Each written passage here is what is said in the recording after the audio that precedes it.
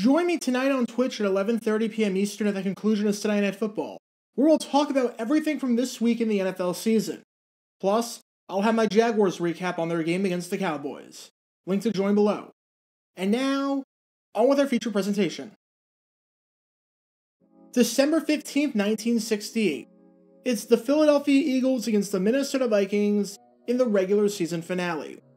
What looked on paper like just another game would live on in NFL history more than half a century later as one of the most infamous moments in the history not just of the Eagles franchise, but in the history of Philadelphia sports.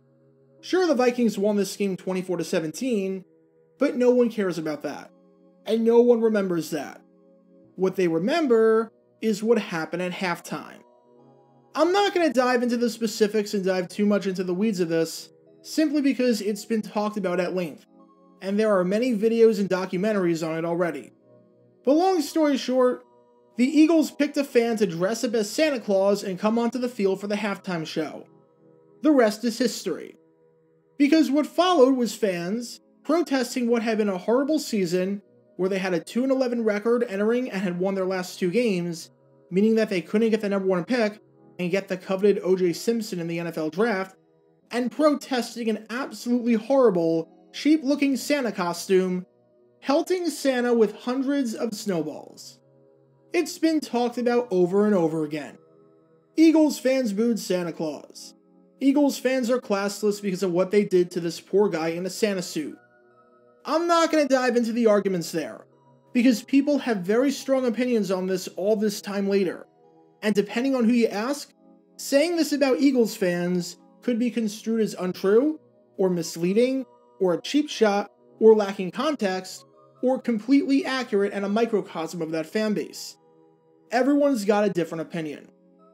However, it is odd that of all the things that have happened in Eagles history involving fan behavior, that this is the one that survived, and this is the one that people remember.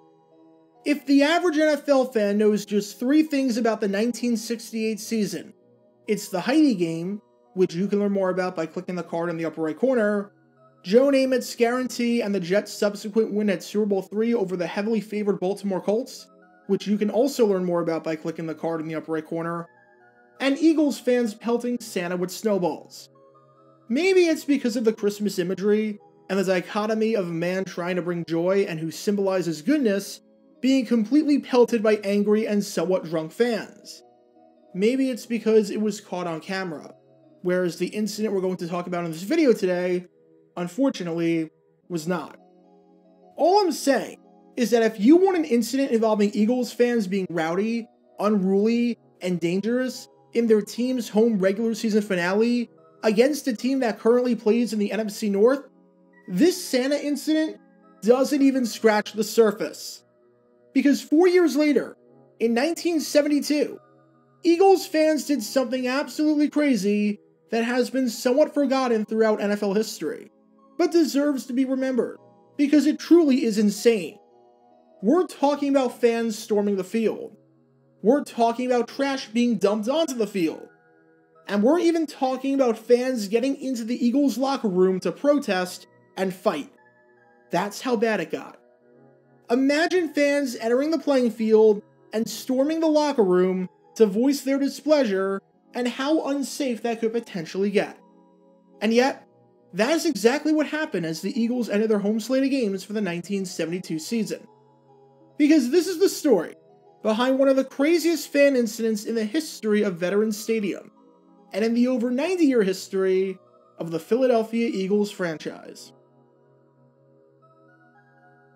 Before I talk about the actual incident in question, we need some context to understand what happened during the actual game as well as how Philly's season was going, because it will give us a great understanding as to why Philly fans were so upset with just about everything that transpired on this day. It's December 10th, 1972. It's week 13 of the NFL season, and we have one of the biggest regular season games in the history of the NFL between the Chicago Bears and the Philadelphia Eagles. Both teams were fighting for their playoff lives in this must win game, as the winner controlled their own destiny if everyone else in the conference had to fold because they got drafted to go to Vietnam. Seriously, this game could not have been less important except for pride and draft positioning. This game meant nothing. These were two of the worst teams in football, with a 3 8 1 Bears team taking on a 2 9 1 Eagles team. And as it pertained to the Eagles, this was their last home game of the season. And man, could the season not come to an end soon enough. I've talked about just how bad the 1972 Eagles were and how dysfunctional they were in a previous video of mine. So if you want to learn more about them and their futility, click the card in the upper right corner. The season got off to a rough start for them, as they dropped each of their first five games, and things did not get any better leading up to this point, as they were entering this game against Chicago on a three game losing streak. They had what was hands down the worst offense in football, having scored just 110 points through 12 games, coming out to an average of about 9 points per game. That was it. For some perspective on how bad that was, not only was it 34 points worse than the next worst team in football, which was the Houston Oilers at 144, but if the Miami Dolphins played their first five games that season, and then just decided to forfeit every game from that point on, they still would have had more points scored on the season than the Eagles had by this point. When you combine that with an atrocious defense that had allowed 307 points, or 26 points per game, which was the second worst total in the NFC, only ahead of the New Orleans Saints, and a team that had a point differential of minus 197, which was the worst in the NFC and the second worst in the NFL, only ahead of the New England Patriots at minus 237, it's no surprise that this Eagles team absolutely stunk and was in serious consideration for being the worst Eagles team of all time, worse than 1968. Seriously, outside of wide receiver Harold Jackson, who led the league in receiving yards that season, and Bill Bradley, who led the league with nine interceptions, there were zero redeeming qualities about this team. They hadn't won a game at home yet. So at least if they won this one, they could give their fans at least one win this year so their season tickets weren't a complete waste. So how did the really bad Eagles perform against a really bad Bears team? Not well. Not well at all. If I told you that the Bears completed one pass all day, that quarterback Bobby Douglass went 1 for 9 with no touchdowns, an interception, and a passer rating of 7.9, which is worse than if he did nothing but spike the ball into the ground on every single play. And that the Eagles forced four turnovers. You would think, without a shadow of a doubt, that the Eagles won this game, right? You think there's no way whatsoever that this box score would lend itself to a loss. However, not only did it lead to a loss, but it led to a loss by multiple possessions. As somehow, the Eagles lost this game 21 12, getting outscored 14 0 in the second half. Philly got nothing going on the ground, averaging just 3.3 yards per carry. Philly also turned it over four times, and their offensive line was atrocious in pass protection, as they allowed six sacks. And regardless of who was back there at quarterback, whether it was John Reaves, Rick Arrington, or Pete Liske, they could not move the ball through the air.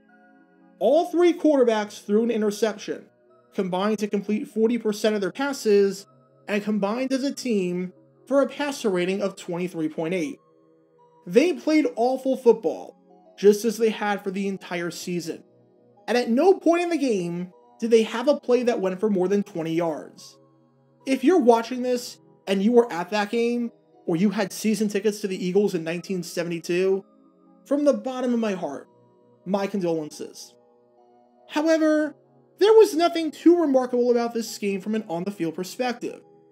It's one of the thousands upon thousands of games that was played in NFL history and has since been largely forgotten, and it's not hard to see why. It was an unremarkable, sloppy game between two of the worst teams in football that wound up meaning absolutely nothing. But this game deserves to be remembered because of what happened afterwards, when the cameras were shut off and the fans went wild, and not in a good way. Now, the fans were rowdy and restless throughout the entire game, as was to be expected, seeing as this was the final home game of an awful season and they wanted a ton of changes. They were chanting throughout the entire game that they wanted Rick Arrington to be put into the game at quarterback. with the chants being so loud that after the game, their head coach even admitted to hearing the fans and their cries. Fans protested by not showing up. Over 15,000 fans that bought tickets decided to stay home and not attend the game. And signs throughout the stadium show that Eagles fans were fed up.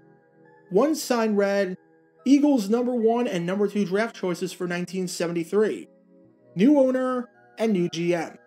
While another sign read, Tose, you got what you paid for. We didn't. Tose refers to Leonard Tose, the owner of the Eagles, who you can learn more about by clicking the card in the upper right corner. But so far, this was just typical angry fan behavior. Heck, even the handful of fans who stormed the field, while bizarre, wasn't anything unusual or dangerous. We've seen worse. Amazingly enough, there actually is footage of one of these fan storming incidents during the game. One fan stormed the field in the fourth quarter and made it all the way to the end zone before three security guards tackled him to the ground. Another fan, shortly after, stormed the field and got on for a bit, with one person in the press box quipping, Somebody ought to tell the cops about zone coverage. These guys are still playing man to man. But after the game, it wasn't quite as playful or as funny. Because immediately when the game ended, a bunch of fans stormed the field, angry about their team's performance and their team's terrible season, especially at home. And I'm not talking about one or two fans. I'm not talking about 10 or 20 fans. Heck, I'm not even talking about 100 fans. I'm talking about over a thousand fans. Over 1,000 fans stormed the field in a non joyous field storming. This was a we want to fight and we want to protest kind of field storming. Obviously, security couldn't catch them all. They were somewhat helpless against one fan, so against a thousand, it was never a contest. However, one fan in particular drew attention when somehow he got a bunch of trash bags and proceeded to empty them and dump them onto the field. I think the metaphor is pretty obvious there. Now, how he got the trash bags and all the trash, I have no clue, because I genuinely have no idea how one goes about that without wrestling one of the janitors for them. But this fan dumped bags upon bags upon bags of trash onto the Veterans Stadium field. While security was helpless against most of the fans, they were able to get that fan, and they escorted him out of the stadium. We don't know who that fan was, what his identity was, or the exact reason why they did it. All we know is that it was a guy. But you know how mob rule works. At this point, it was the fans against everyone else, especially security. And when the fans saw Trash Guy getting escorted out of the stadium for his unruly behavior, some fans took it upon themselves to get revenge and to take matters into their own hands. And that's when about 40 or so fans decided to go into the tunnel and storm the Eagles' locker room. Now, outside of the locker room, not only did you have the team and the coaching staff, and not only did you have media members, but you had a bunch of angry, unruly fans who were looking to fight and voice their displeasure. While none of the players were hurt in all of this or got involved, which is obviously a very good thing, reports indicated that there was a ton of shoving that occurred, so this got pretty violent. There were quite a few fights. The crowd eventually dispersed, and security eventually got control of the situation way too late, but the damage was already done. Thousands of fans storming the field in protest, attacking security, dumping bags of trash onto the field, and then going into the locker room to fight more security guards and go face to face with the players. Honestly, I'm not sure it gets a whole lot crazier than that. Everything about this season for the 1972 Eagles was terrible, especially the on field product, which was an abomination in more ways than one. And when it came to the home slate, I think it's safe to say that the season ended just about as bad and just as ugly as it started. The game was bad. The post game was bad. Quite literally, everything about this game was bad and was a microcosm of the 1972 Eagles season. Because when the Eagles ended their home slate against the Bears, things got very, very out of control. Get your official Jaguar Gator 9 merchandise by going to jg9shop.com, and be sure to like this video, ring the notification bell, and subscribe down below if you haven't already, as it helps the channel out a lot. And be sure to check out Twitch every Wednesday night at 9 p.m. Eastern for your chance to play NFL Trivia and win cash prizes. Link in the description below. If you want to see videos like this condensed down to 60 seconds, then follow me on TikTok at JaguarGator9. To see college football videos, subscribe to JaguarGator8. To see highlight videos of players throughout the history of the NFL, subscribe to JG9 Highlights. Also, special thanks to all of our Patreon supporters helping out the channel. Your support is greatly appreciated. So you can become a patron and request future video topics in the description below.